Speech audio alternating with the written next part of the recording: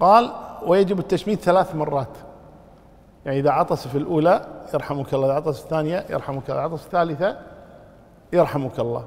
والحديث الوارد عن النبي صلى الله عليه وسلم أن الرجل عطس الأولى فقال يرحمك الله. عطس الثانية قال يرحمك الله. عطس الثالثة قال صاحبنا مزكوم أو صاحبكم مزكوم يعني العطاس ليس عطاس الرحمة وإنما عطاس المرض.